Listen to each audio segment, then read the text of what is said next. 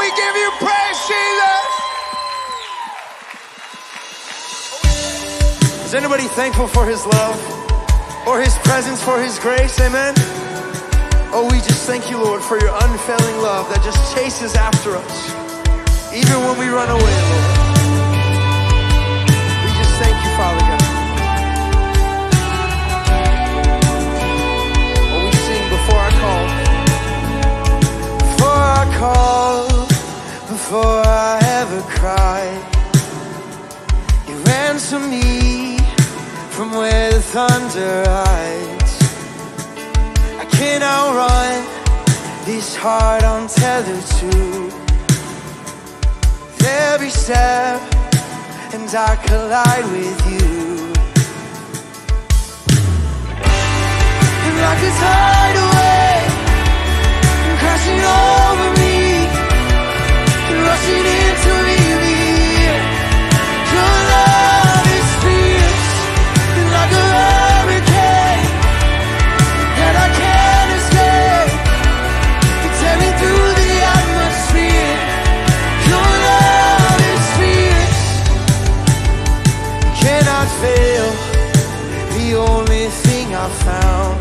through it all,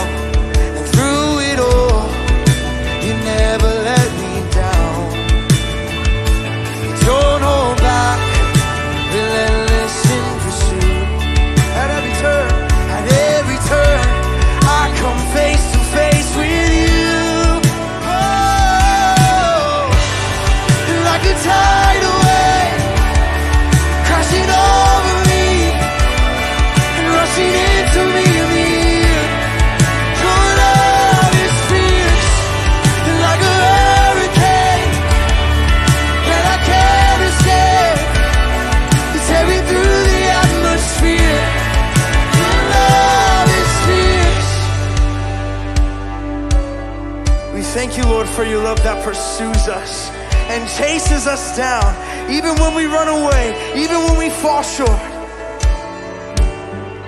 You chase me down, you seek me out. And how could I be lost if you have called me found? You chase me down, you seek me out. And how could I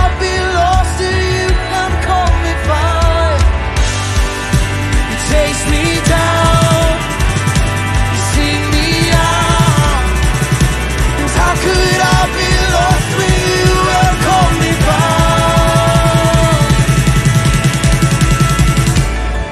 Like a tidal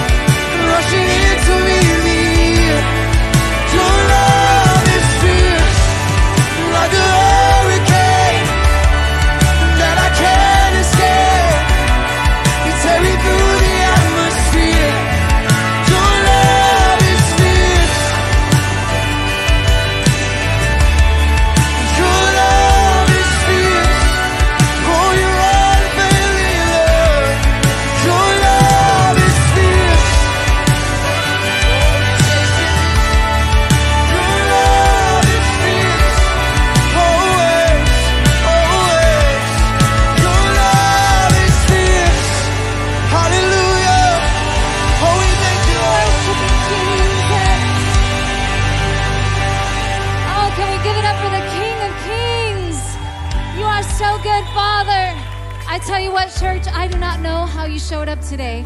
I don't know if it's your priority to be here every Sunday. I don't know if someone brought you for the first time. Any first timers? I don't know if your grandmother told you you better get to church, mijito because I'm not gonna make you tacos after church. I don't know what it is that got you here, but I tell you what, the love of Jesus Christ is ready to meet you here today, just like we were singing out. You have never experienced a love like the love of Jesus. Dale un codazo a alguien, tell him, hey, you see? You're in the right place this morning. My name is Maggie, and I just want to welcome you um, for being in the house of God today. It's been an incredible Sunday. 10 o'clock was amazing. 12 o'clock is going to be even better, right? Oh, come on, 12 o'clock. We are super excited that we have been talking about essentials. Today is part two. Not only is Pastor Pepe bringing the word, with part two, but we are also having an incredible drop of merch. And I tell you what, I just love a good Lifeline merch drop. Can somebody say amen? Now, we just know how to look fly. We know how to look good. And this is our merch. If you're wondering what 2009 is, 2009 is the, when Lifeline Church was established. So you can rep that in the back. It says essentials. It looks so good. If you don't have a Valentine's Day gift, shame on you, first of all. And second of all, go back there and get your honey or your loved one some merch. I tell you, they are going to enjoy that very much. Pastor Pepe, once again, is going to make his way up here. But before that, not that I care about today's game because I don't, but I do enjoy the food. So why don't you tell someone, hey, what are you gonna bring? What is your favorite snack for Super Bowl? Is it the nachos? Is it the dips? What is it? Don't look at me like that. For everybody else that does care about the game today, hey, may the best team win, right? God bless you guys.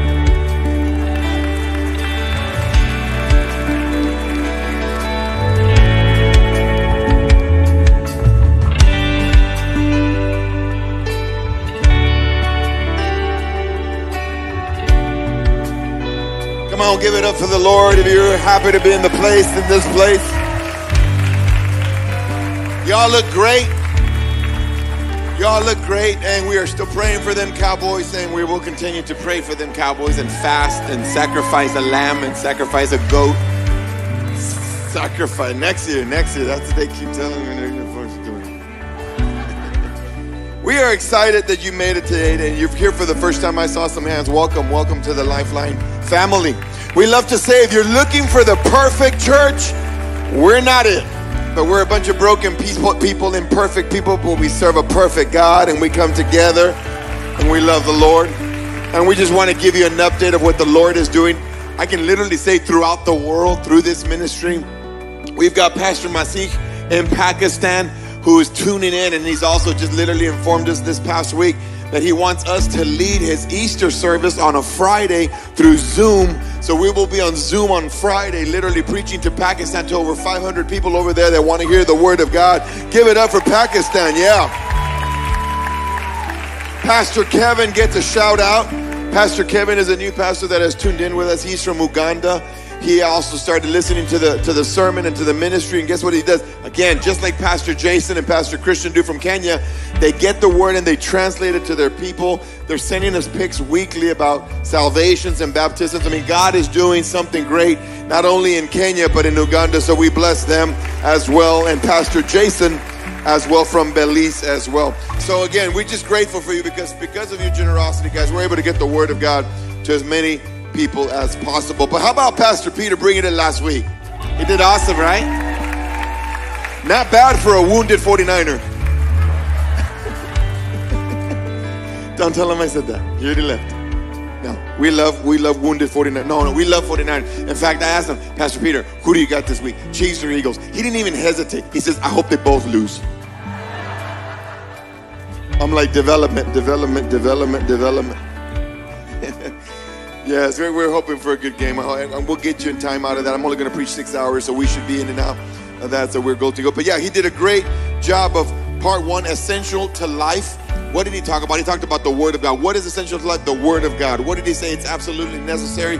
He also said we must come with an open heart, with an open mind, ready to receive God's Word. Why? Because only His Word not only has the answer for everything, but it changes everything if we're willing to practice it, believe it, and accept it in Jesus' name. Amen. Today we continue with part two. If you're ready, say ready. First Corinthians 13 13. Watch what it says. Some of you know this verse. Three things. How many? Three things will last forever faith, hope, and love. And the greatest of these is love. I just thought it was so fitting to bring that message this week since we're hitting Valentine's and it is a month of, of love. But guess what? I'm gonna, I'm gonna hit you from the left side and from the right side. You're gonna learn some real things about what love truly is. Amen. So again, let's just pray, Father. we say thank you, Lord. Thank you, Lord, for what you did this morning. Thank you, Lord, for those that came to the altar, those that came to the Lord.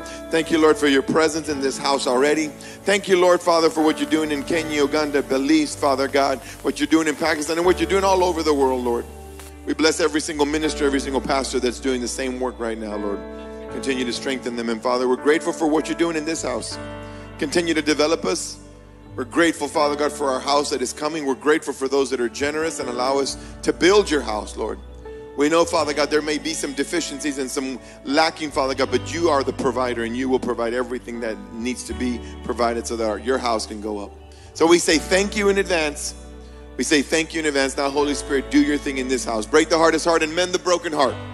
And let me deliver this message as you see fit. In Jesus' mighty name, we pray. Would somebody say, Amen. You may be seated in the presence of the Lord while I welcome our online crowd. If you're tuning in online, again, drop us a comment. We know Canada was tuning in last week as well. Drop us a comment if you're listening from, from wherever you might be down the street in Brownsville, whatever the case. We welcome you. Drop us a comment and share this word of God and share this on your page so we can share the word of God with as many people as possible. Three things will last forever faith, hope, and love, and the greatest of these is love. Notice how the Bible says they're all important, church. I don't want you to think that faith and hope are not important. They are all important. Faith is important. Can you say amen? Hope is important. Can you say amen? But the Bible literally prioritizes here something that is so important. It says, But the greatest of these is love. Church, what does this nation need more than everything? No, no, not any president. Don't just say that. Yeah, we'll pray for that. But I'm saying, what does this nation need more than anything? Love. And the truth of the matter is, the truth of the matter is, who is love? The Bible says that Jesus is. Are y'all awake? Okay, yeah, good. Jesus is love. So if Jesus is love, guess what? Then what we need more of in this nation is not another fundraiser, it's not another organization, it's more Jesus in this nation. We need more Jesus. We need more Jesus. Yes, in fact, the same verse, a couple of verses before, says something so powerful. It says, we can have, it says in verse 1, we can have great faith, but if we don't love, we're nobody. It goes on to say, it says, if I speak in angelical voices, but I don't love, it says I'm making noise. It's like I'm being just noise to the people. And then it goes on to say, it says, if I have the gift of prophecy and all the knowledge and great faith, but I don't love, it's for nothing. So it goes to show us how important love really is. And again, I know we're, we're hitting up Valentine's Day and we, we, we tend to think what we think we know what love is, and we're going to learn a, a, definition of love. There's several definitions. You can all find them in Corinthians. You want to know what love is, just read Corinthians. It'll tell you every single thing. And you'll be like, oh my God, I didn't know that's what, really what love was. And so we're going to see another aspect of love. And I can probably start it with this story. If you tuned into the news, I know it's hard nowadays to watch the news because you don't know what to believe. But the truth of the matter is about a little over a week ago, if you saw this, a 14 year old girl, or I rephrase, a nine year old girl got beaten up by a 14 year old boy on a school bus. If you say it, if you saw it, just kind of wave at me. Okay, a few of you. You see, some of you didn't even know what I'm talking about, and that's okay because that story actually can correlate to what we're going to talk about today. I mean, we could literally just swap people and, and, and, and use that story. That's how truth and evident it is nowadays. So, this nine year old girl and her 10 year old brother, who had literally just moved into this new city, you know, they've only been there, I think it was a couple of months, ride this bus, something goes down. A 14 year old boy beats the little girl on the school bus, like beats her. The 10 year old brother tries to step in and he gets beaten too. And you gotta ask the question where's the help? Now, I know what some of you are saying. Well, they're in a school bus, there's kids. They're probably afraid to get involved. They're probably afraid to do, well, they weren't afraid to video because you can see it from every angle. And it's unfortunate to say, church, that that you know what? I don't blame those kids that didn't help. I blame the parents that have not taught what we need to do. We need to wake up, church. We need to wake up and understand that this is happening all too frequently. I don't have to tell you that. We see hate and evil everywhere now more than ever. And in today's story, I'll give you the backstory. We have a story, the Bible says in Luke that you had this lawyer, and I say lawyer because he was an expert of the law. We're going to call him a lawyer. We don't know his name. And he comes to me and he says, Jesus, he actually he calls him teacher. He says, Teacher, how can I inherit eternal life? What do I have to do? Jesus literally replies to him with literally what our vision is healing for the body, mind, and soul. He says, You must love the Lord your God with all your heart, with all your mind, with all your soul, and with all your strength. That's what you have to do. He says, and you need to love your neighbor as yourself. Jesus replied, uh, Jesus, that's exactly right. You've answered correctly. If you do this, you will live. Well, he kind of didn't like the answer, so he added, Well, who's my neighbor? Now, it's funny because neighbor has a different uh, uh, connotation nowadays. Because can I talk to the people back in the day that were brought up that were brought up where you could leave the door unlocked? Can I preach to that that generation? This generation, this this this this craziness right now. You don't even trust your neighbor. Can I go a step further? You don't even know your neighbor. Now, maybe some of you do. Congratulations. I'm proud of you. You did that. It's great. I'm glad to say we know our neighbors, you know? But the truth of the matter is, we were brought up back in the day, and I'll give you just a little scoop. I've told you, Fair Park's right here. This is where your pastor was right here in the desert, Egypt. No, I'm just playing. It was in Egypt. Egypt would have been a good thing. Uh, Fair Park, right? And let me tell you what we would do. I, I recall my mom would You're going to go out and play? Yes, we're going to go outside and play, right? Doors would be unlocked, you know, big deal. You go play, go skate, do whatever. I was a skateboarder back in the day, right? You know, you're so Lorraine, right? Skateboarder right with the hair, you know. Anybody? Oh, okay. Oh, you guys seem a little bit. The 10 o'clock was like, skateboard, what is that, Pastor? I don't know what that is. Is that some kind of like, is that like on a video game? It's not a video game. Okay. And so we would skateboard, right? And literally get up in the morning, go skating. Let me tell you what your pastor would do, right? We would come down all of Wichita, all the way through the front of the street, go all the way to the back, and we would hit up Casa del Sol. Anybody know Casa del Sol? Not Casa de Amistad, Casa del Sol. It's the one that has that weird roof. Your pastor would get up there and skate up there. Crazy fool. Crazy. Cancer didn't kill him, skateboarding wasn't gonna kill him. right? we would do it. Now, ask me if my parents knew that. No. They thought we were at the neighbor's house. The devil is a liar. Point I'm trying to make is that there was no search warrant for where's my son? I don't hear him. No. Why? Parents knew that when the sun was going down, the kid was going to come home. There's no tracking. There's no cell phone. There's no this. There's no that. Put a chip here. Put a tag here. I mean, everywhere you're going, you're like tagging. You're beeping all over the place because you got more tags on you than you can believe. The point of the matter is that was then. We knew our neighbors, and we actually had our neighbors hold our kids accountable. Um, I'm preaching to it. Come on, y'all, y'all got to help me here. Well, he didn't like that answer. Who is my neighbor? Well, Jesus doesn't just say who it is, he gives a story. Here's the story. You know this story. Think about the little girl and the little boy that I just told you right now. Watch what the story says in Luke 10 30 and 37. We'll break it down and we'll get out of your way. It says, In reply, Jesus said, A man was going down from Jerusalem to Jericho. He was basically going down from Commerce to Fair Park when he was attacked by robbers. They stripped him of his clothes, beat him, and went away, leaving him half dead. A priest happened to be going down the same road, and when he saw the man, he passed on the other side. So too a Levite, when he came to the place and saw him, passed on by the other side. But a Samaritan, somebody say Samaritan, as he traveled, came where the man was, and when he saw him, he took pity on him. Another version says he had compassion for him. He went to him, bandaged his wounds, pouring on oil and wine. Then he put the man on his own donkey, brought him to an inn, and took care of him. The next day he took out two denarii and gave them to the innkeeper. Look after him, he said, and when I return, I will reimburse you for any extra expense you may have. Which one of these three do you think was a neighbor to the man who fell into the hands of robbers? He asked. The expert or the lawyer replied, The one who had mercy on him. Jesus told him, Go and do likewise. Last week we talked about the Word of God is essential to life. Today I want you to understand that it is essential to love. It must be essential to love. I'm going to give you four points. I'm going to get you out of the way. But first thing, essential to love. What did we learn last week from the word essential? Pastor Peter broke it down nicely. It is absolutely necessary. Church, love should not be a choice. Love should be a mandatory. We've got to learn to love.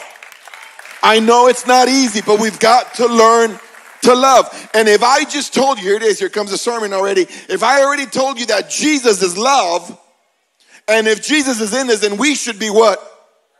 Exactly. So if you're having a hard time because you're dealing with hate, my question is, is Jesus really in you? I'm not saying to be perfect. I'm not saying you're not going to dislike certain people. You're going to run into stuff like that. But it's one thing to hate. It's one thing to hate. And so here, it's interesting because in this backstory, the, the, this, this, this lawyer asked this question, but if you read the whole story, literally what he was trying to do is justify his answer. He thought he was smart enough. He thought he was smarter than Jesus. He thought, well, I'm just going to make myself seem right in the eyes of God. And the lawyer literally tried to measure himself based on certain commands. He's like, well, if I do this, I'll do that. How many times have we done that as Christians? Well, I already did my good deed for the day, or I already did my good deed for the week, or I already gave this person that, or I already texted this person that, or I already prayed for this. And we think that is it. But no, love has to be a lifestyle. I'm telling you, there's so much hate in this world. Love has to be a lifestyle. How many times are we like the, like this attorney, this lawyer, who tried to reduce God's commands and tried to make them fit according to what we believe? So we'll make these commands that we don't like, we'll shrink them down into something we feel we can live with. So we'll be like, okay, well, if I have to love thy neighbor as myself, well, that must mean that I've got to love those that love me. Or I'm only going to love those that, that, that I know. I'm only going to love those that I have something in, in agreement with. I'm only going to love those that are Cowboy fans. Right? And so we, we have that, or I'm only going to love those that I love, or whatever the case. No, no. He thought he knew the answer. Jesus throws a story at him, and he's not really prepared for it. Now, I want you to understand something very interesting that the Bible calls it the parable of the Good Samaritan. But I want you to understand that Jesus did not call it a parable. Why not, Pastor? I'm glad you asked. Because the journey from Jericho to Jerusalem or Jerusalem to Jericho was known to be a dangerous uh, a journey. People would not go through there dark. People would not go through there alone. It was dangerous. It was a steep and treacherous place where there were so many places that thieves would actually hide. And if they would see you coming, they would come, jump you, beat you, get whatever you had on you, and literally leave you for dead. It was so bad that the actual name of it, another name of it, was the way of blood. It's a true place. This is true place. This is true people. And so this story was so believable. Why? Because people had heard of that place. And they just made sure they would not go that route. You ever been to a city or a certain place where you go, you just don't drive through there? There's just a place that you just don't go through. You know to be safe. You don't, you don't do that. Well, we're in the year of development, and this story can teach us several things. So, like I said, the first thing, the first point I want you to learn this afternoon is love is based on need, not worth. Say that again. Love is based on need and not worth. The Bible says in verse 30, a man was going down from Jerusalem to, from, to, to, from Jerusalem to Jericho. He was attacked, stripped, and beaten, living, leaving him half dead. Church, love should be driven by need, not by worth of the person receiving it. Let me break it down a little bit more for you so you can understand. Today, if we saw this, maybe some of you have seen it. Maybe you're going to the beach, maybe you're going to the store, maybe you're wherever the case, and you've seen someone get into a fight, or you see someone get beaten, or you see someone get jumped. Maybe you see it, you know, and we see it, or you know, they get beaten or they get whatever the case. We we nowadays we see it and we're like, oh man, I wonder who it is. Instead of helping. Did you get the message? We're too busy worried who it is. Well, let's see if I know him, because if I don't know him, then I shouldn't get involved. Well, I don't know who he is. Well, no, no, he, he has this color skin or that color skin. So, no, no, that, that, that has nothing to do with me. Or, you know what? I don't know who they are. I don't know. I have no business. Maybe he deserves it. Whatever. They, and so we try to justify. Why? How many times do we try to justify who we help? Somebody needs help. Oh, I can't help you. I don't know you. Oh, I can't help you. you. You don't come to the same church. Ooh, I can't help you. You're, this or that. You think different than me. Ooh, I can't. Whatever the case. Or we don't help, or we don't help them. Why? Because maybe we're not going to get anything in return. Then that doesn't become help. Then that doesn't become help. I think about it. I mentioned to our leadership, and I said again, when we're serving in church, when people start saying, "Well, Pastor, I want to serve the church, but I don't want to be with that team because I don't like him, her, and her." But put me in this team. And we're like, okay. No, put them in that team because they're not supposed to be serving each other. They're supposed to be serving God.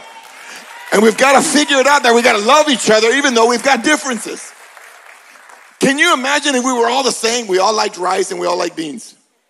Every day, no change. Everybody looked the same, talked the same, walked the same. How boring would this world be? No, the Lord literally made you uniquely to the point that there is no second of you.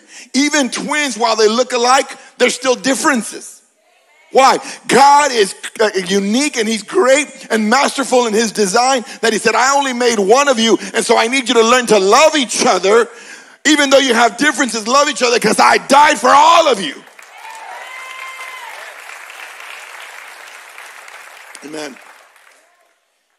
And so we have this man who we do not know his name, and three individuals come along, and the first one comes along, and the Bible says, verse 31, a priest came by, looked, and kept going.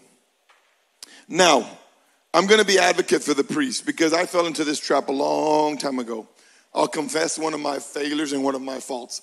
When I was about to preach my first message, I remember this was a long time ago, church. I was 23. I'm 27 now, so that would be four years ago. You heathens. Heathens.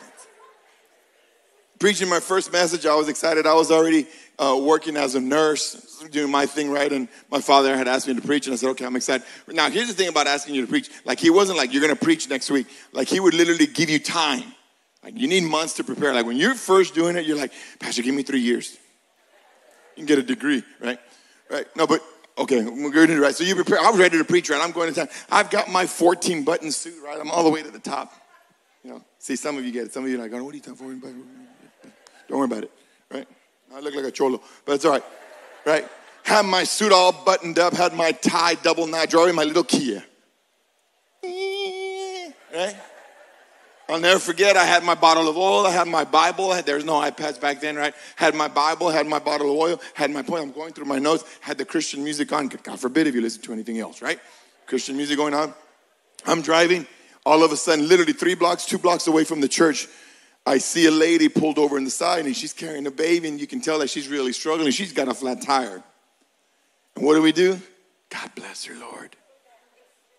See, we laugh, but that's what we do. And so I remember not stopping. I remember getting to church and I was remember praying before coming up to the altar and say, okay, Lord, use me and let me let this be powerful, so on and so. And the Lord says, You already missed the sermon. You already missed it. But, but, but, but I don't want to get dirty. Get dirty. If we're going to change this world, we've got to roll up our sleeves and be the church out there, not in here. We've got to be lovable. We've got to be approachable. We've got to show mercy and grace. So I failed. I tell you, I felt this little up there preaching that word of God. I felt like a hypocrite. I felt like a hypocrite. It happens. And so what's interesting here is that some theologians, let's give them the benefit of the doubt, have excused this priest. They've excused this priest as saying, well, he couldn't get near the body because if the body was dead and if he came close to it and touched it, he would have become ceremonially unclean and then he would have been able to perform his task at church. Who cares? You see what I'm saying? We've got to break that. We've got to understand that sometimes we got to get dirty. We've got to understand that sometimes it may not look right. Sometimes it might get in the way of my schedule. But if God placed it there for a reason, He placed it so that I can be the, the help that someone needs. You got to understand it. This, this priest was in a tough situation. Why? The, chief, the, the priest was considered the holiest of all Jews. Why? Because people back in the day don't have the luxury that you and I have today that we can just come into the sanctuary. You can literally come to the altar if you wanted to right now. Back in the day, they didn't have that luxury. Only the priest could get into the Holy of Holies. And so, what the priest would do is not only teach the message, but he would actually sacrifice and pray for the sins of others. He was literally the most important person next to Jesus. But he failed. He failed because sometimes we do fail. He failed because we're human. He failed because we weren't called to be Jesus, but we were called to love. Bible goes on to say, second passerby came in, Levi came by, him. What did he got? Probably got a little bit closer, said, Oh, I can't get involved. I'm not a nurse. I'm not to know what to do. I'm out. Maybe he's running late for praise and worship practice. He was a Levite. And so, doesn't do anything about it. Now, let me just clear something up, church. I don't believe that the priest and the Levite were bad people.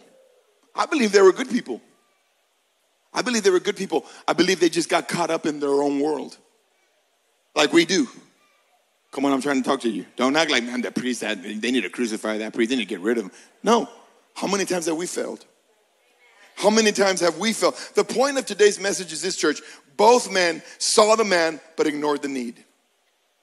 They saw the man but ignored the need. You have two religious leaders with great authority caught up in religious, literally in religious and useless religion, basically. You have a Levite who probably played amazing at church and sang a great song, but that didn't translate out there. You have a priest who had some great duties and some high responsibilities and probably preached a great message, but it didn't transform anybody out there. Pastor, what are you saying? What does that have to do with me? It has everything to do with us. Church, what we do and learn in here has to translate out there. It has to, church. You have to be the church. You have to be the love. You have to show the mercy. You have to be the grace. You can't be judgmental. You can't be pointing the finger. You can't act self righteous. We were once lost. We were once dead. We were once beaten. We were, and thank God that Jesus and his resurrection power pulled us out of them. And church, as you say, you hear me say this all the time. People are not going to come because you know a Bible verse. You keep sharing Bible verses with them, and they don't care how much Bible verse you know. They want to know how many you're going to live. How many are you going to act? How are you going to be? And so, again, our love has to be based on need and not worth. Point number two love feels something. Now, I got to clarify. I got to clarify because right away people say, I, I, I, love, I just love him. I just feel it.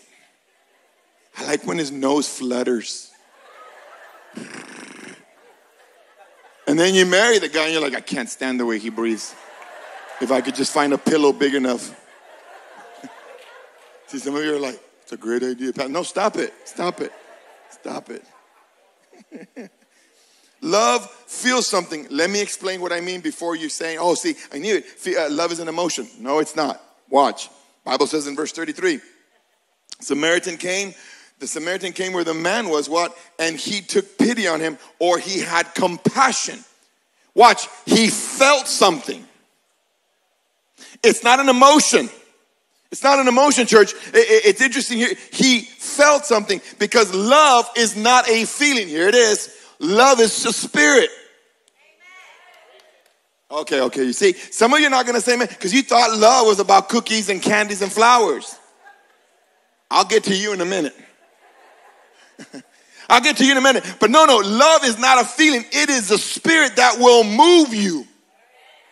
That's why I'm telling the NFL, I wish Roger Goodell would just give me 30 seconds of his time and tell him, stop spending billions and billions of dollars on these foundations and fundraisers, and, and we're gonna make change and stop the hate. You're gonna spend all that money because hate is a spirit also. You ain't gonna change it with more commercials. You ain't gonna change it with celebrities. You're gonna change it with slogans. You're gonna change it with stickers in the back of a helmet. You are gonna change it by bringing Jesus back into the NFL. And when you bring it into the NFL, it's gonna change your heart. And when it changes your heart, it's gonna change the people around you. Man, I just saved you $2 billion. And so we get frustrated because, oh, why is there still racism? Why? Can I go deeper? I'll give you a perfect example. The, the whole talk about the Super Bowl, what was the phrase? If you know football, you know what the big talk was. Two things the Kelce brothers, and this is the first time that two black quarterbacks play in the Super Bowl. Why do we have to say black? Let's just honor them for the athletes that they are. Why do we always have to put a color in front of something and wonder why we're still racist? Let's stop with that. They don't realize that the same NFL is actually spreading the same hate. Just leave it alone. And if you don't think I, Pastor, I don't think you're right. Don't go listen to the conversation that the coach from Tampa Bay said. He literally said, as a black NFL coach, how do you feel? He goes, first of all, I'm just an NFL coach. Stop putting a color in front of it. Leave it alone. We've got to stop being that hate. We don't realize it, and sometimes we're being discriminative in front of ourselves and don't even see it. So again, love is a spirit, hate is a spirit. It would have been good, uh, good a story for this man to just been helped by a regular man. But no, the Bible is teaching us something. He says it was he was he was he was taken care of by a Samaritan. Now to you and I, that means nothing. The Samaritan, oh, okay, yeah, I mean, that, that, that's good, you know, whatever. No, no, no, but this isn't the case, church, of race helping race or Jew helping Jew.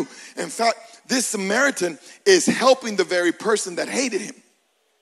And hated his culture and hated his people. That's who this, this guy is really helping. Now, here's what I got to clarify Samaritans weren't holy rollers either. Samaritans weren't Boy Scouts. Samaritans and Jews had a hatred for each other because one had one belief system, the other one had the belief system, and they continue to fight with each other. Doesn't that sound like today? That you don't got people that don't come to church arguing with people from church. You got people from church arguing with people from church.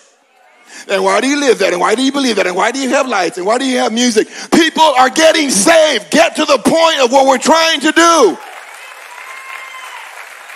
You see what I'm saying? We haven't figured it out ourselves. And so rather than literally, uh, uh, uh, what do you call it? We, we have a Samaritan here, like I said, that shouldn't have helped him. It would have been expected for this Samaritan to walk up, see who it was, and not only not help him, but finish him off. That would have been expected because that's how much hate there was between the two. Today, we call this the Good Samaritan. It's a phrase that's become part of our language. But let me tell you something. Back in that day, church, the, the, the, the term good and Samaritan would never have been spoken of in the same sentence. No way. They hated each other. There was so much division. There was so much anger, so much hate. But if you'd allow me, here comes. I'm going to teach you something today. Here goes. The Bible says, when he saw him, he had pity, he had compassion. So I went back to study the word pity, compassion and in this text, in this context. And I learned a phrase that I never knew, so you're gonna learn it today.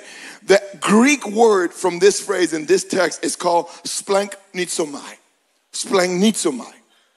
Pastor, what does that mean? It's a fancy word. No, it's a, it's a powerful and bold word. Watch this. It comes from the word that refers to bowels and intestine. I know what you're saying. You're like, what? Bowels and intestine? Yes, it translates in our language to a gut feeling. You see? How you, uh, you see? Have you ever gone to some place? Have you ever been around something or someone and you just have this feeling? Right? It's not what you ate. It's Holy Spirit trying to tell you something. To either move, to either respond, to either react, to either run, to either stop. Whatever it is, there's that gut feeling.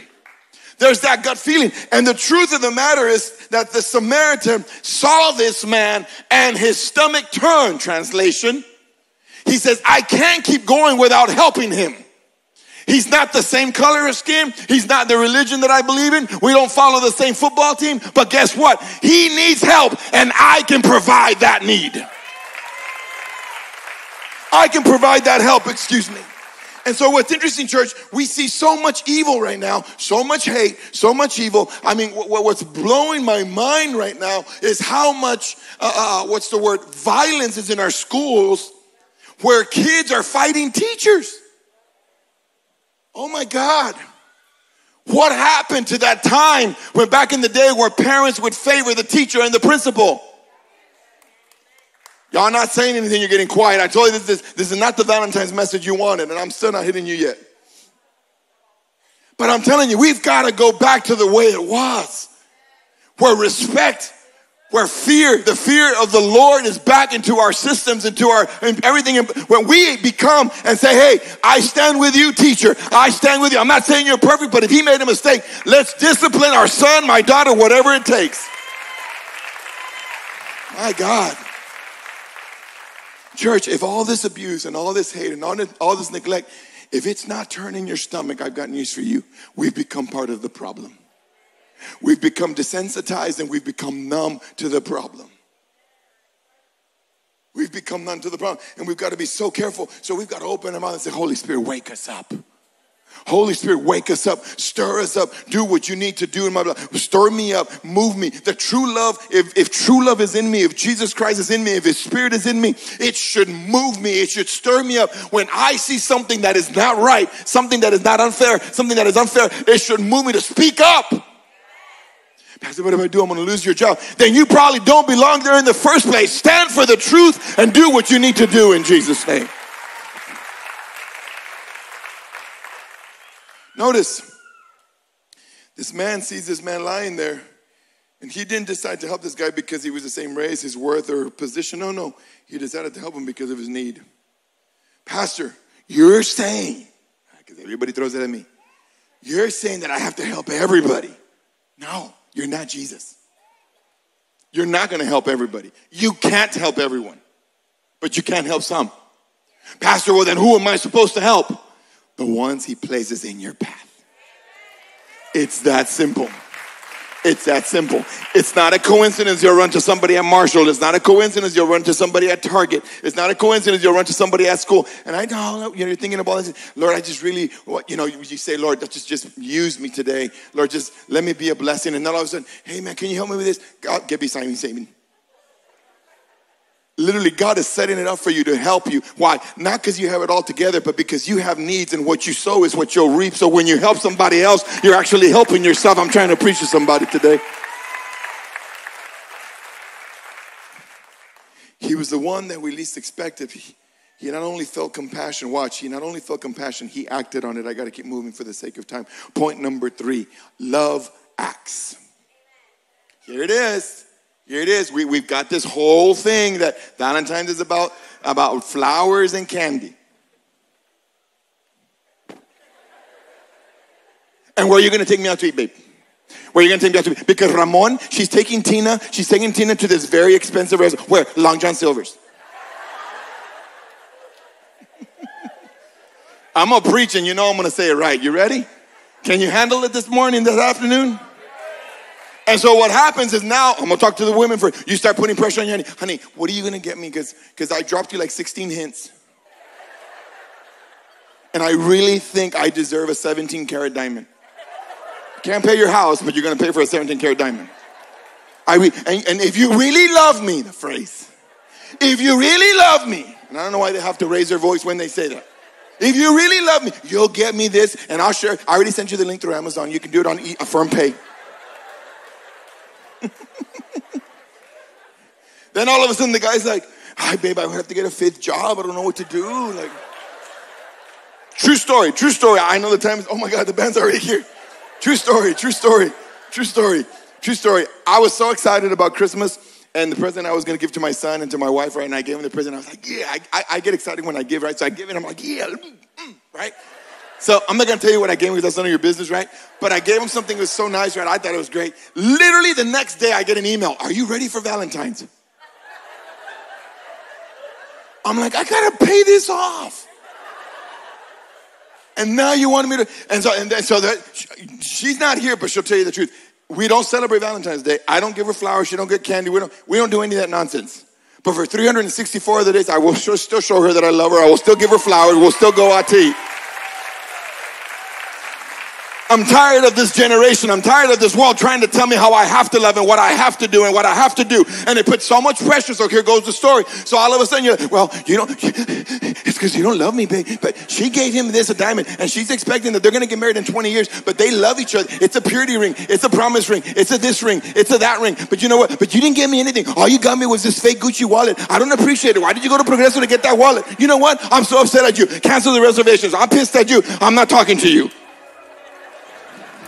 Did I pretty much sum up the whole thing? And so now what was supposed to be a night of love turned into a night of hate because you're too busy trying to compare each other with everybody else. You can't afford what you're doing. If you don't understand that love acts, it means of how I act with you, how I treat you, my character.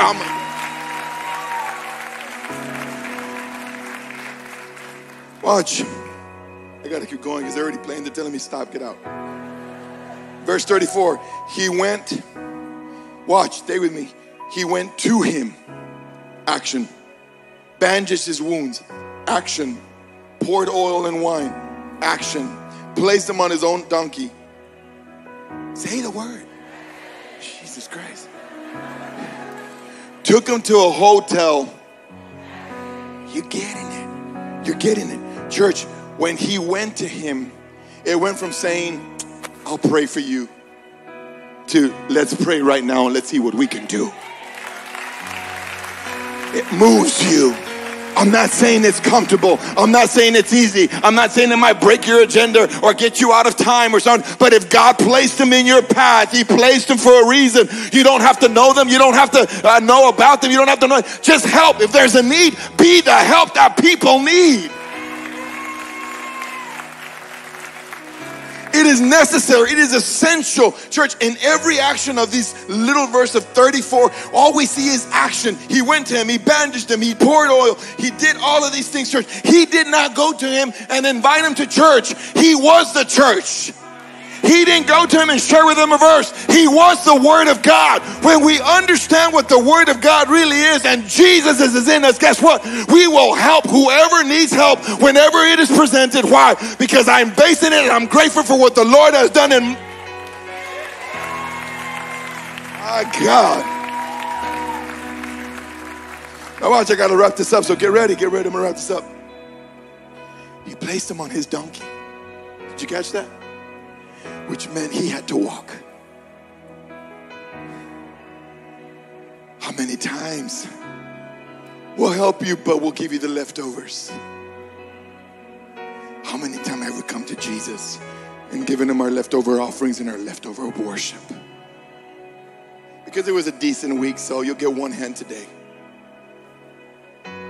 When the Lord has done so much. Literally, church, placed him on his own donkey. Love feels, love acts, love costs. But here's the last and final point love costs us something.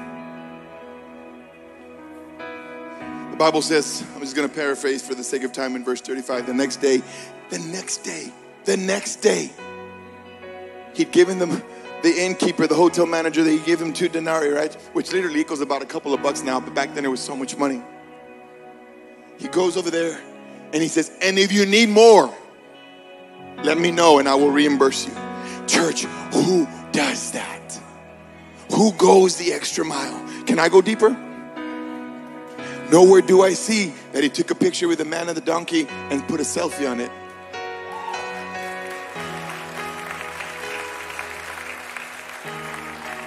Love costs us something. Who does this? He went the extra mile. Who should do this? We should do this, church.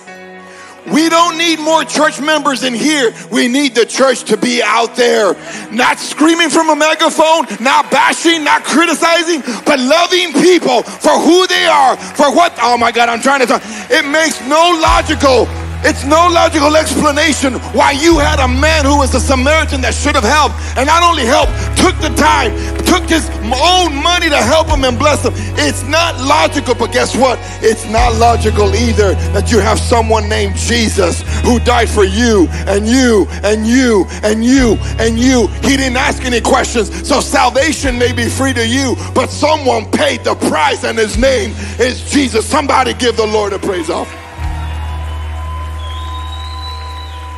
So the altar's open. If you say yourselves, Lord, I need more of you and less of me. If you're saying, Lord, break my heart. If you're saying, Lord, forgive me. If you're saying, Lord, I need to be more lovable. I need to be more merciful. Whatever it is, maybe you're dealing with a relationship. Maybe you're dealing with brokenness. Come to the true love, and his name is Jesus.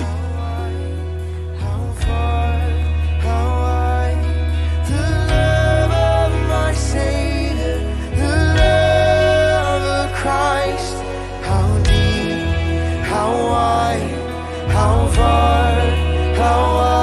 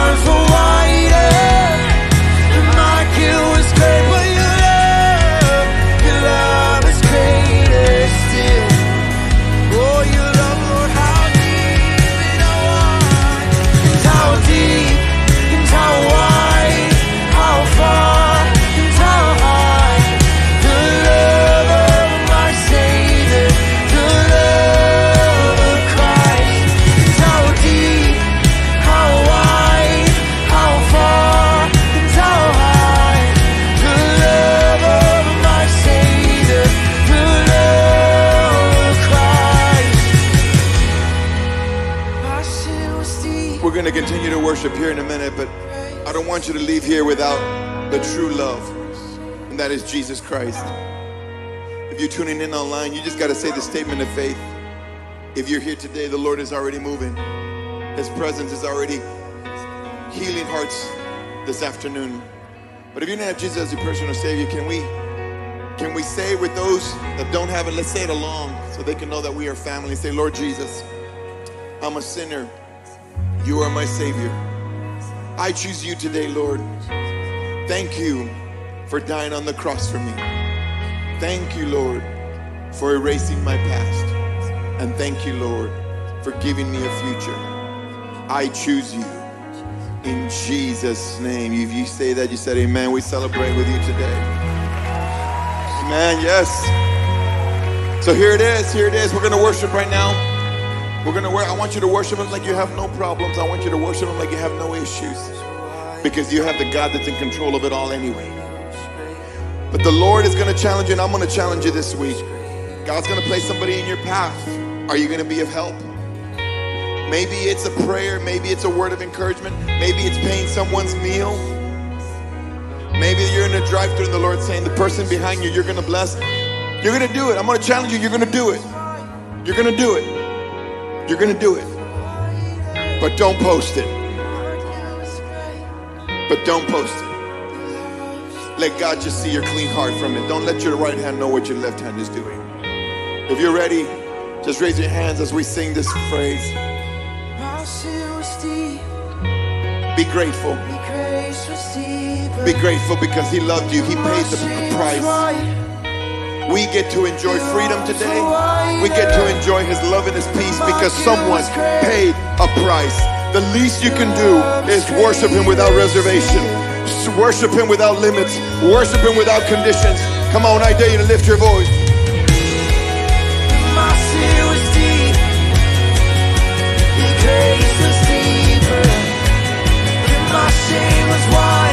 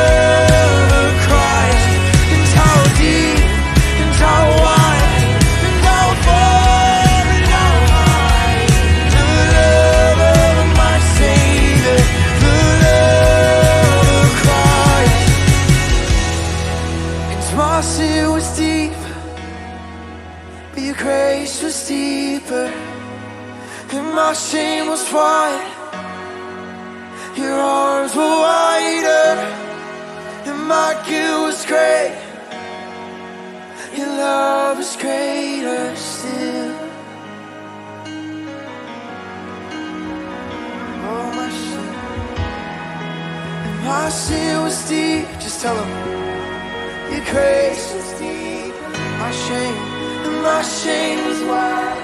Oh, your arms. Your arms were wider. My guilt was great. Your love was greater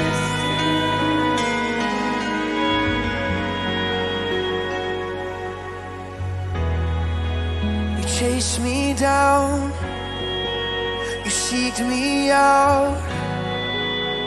How could I be lost when you have called me found? You chased me down, you seeked me out. It's how could I be lost when you have called me found? You chased me down. You seek me out. It's how could I be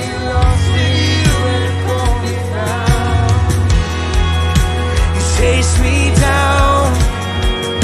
You seek me out. How could I be lost? How could I be lost when you have called me found? You chase me down. You seek me out. And how could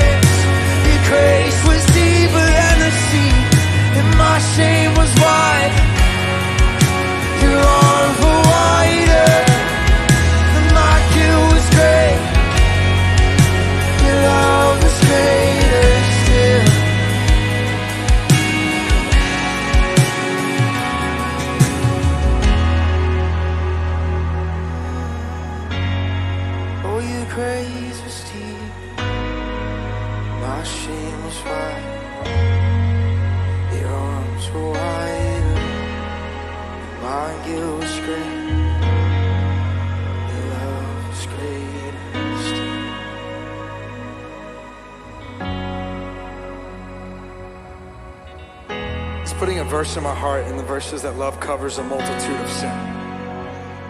Doesn't matter where you've been, it doesn't matter where you just came from before or what you did last night. His mercies and his unfailing love are new and forever pursuing you. As it says in Psalms 23, it does.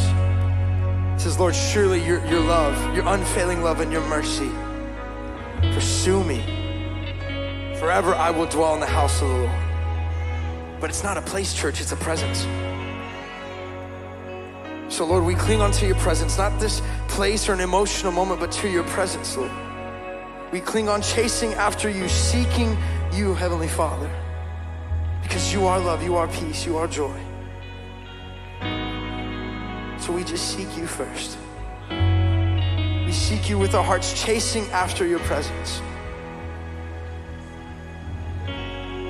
Chasing after you, Lord.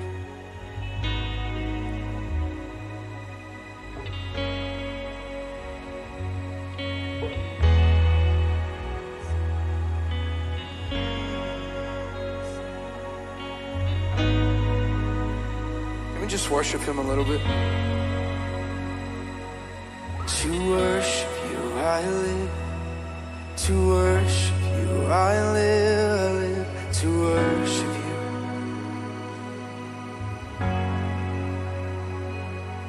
To worship you, I live.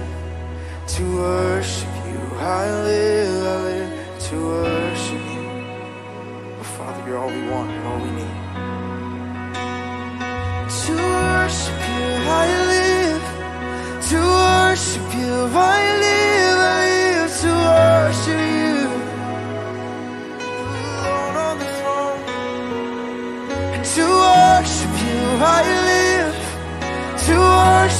I live. I live to worship you. And to worship you, I live. To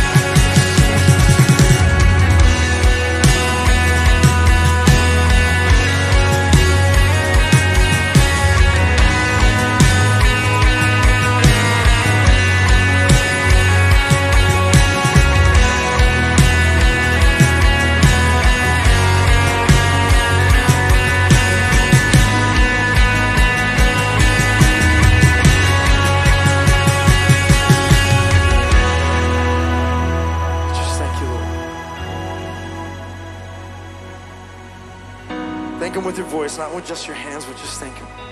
Thank Him with your heart.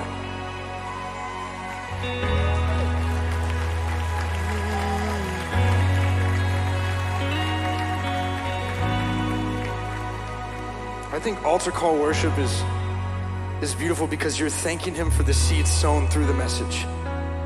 It's not to feel good or to, oh, this song's so beautiful. It's to thank him for what he just sowed into you through the message, through his word, through his love. Amen. So can we just thank him today? Just lift up your hands and just come and agree with me. Father, we thank you for today. We thank you for the seeds you have sown in our hearts. Father, help us to love. Help us to not only share your love, but, but even to love those that we would not even think deserve love, Father. To share love to those that have hurt us and persecuted us and abused us. Give us that strength to share and spread your love and to feel loved by you, Lord. Remind us of your love. Remind us of your goodness when we fall and when we fell and when we feel like we're not enough. Remind us that you have called us your own and you have called us your child.